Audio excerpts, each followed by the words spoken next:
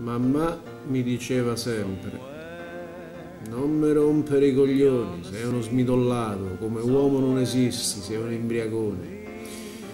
E allora mi sono incazzato e un giorno ho detto basta, guarda, mi compro una barca e mi faccio il giro del mondo e navigo da solo. Ecco. E così compì questa impresa. Feci il navigatore solitario. Giorno e notte, fra cielo e mare, mare e cielo, in questa natura, padrone del mondo. Lei non sa cosa vuol dire il navigatore solitario.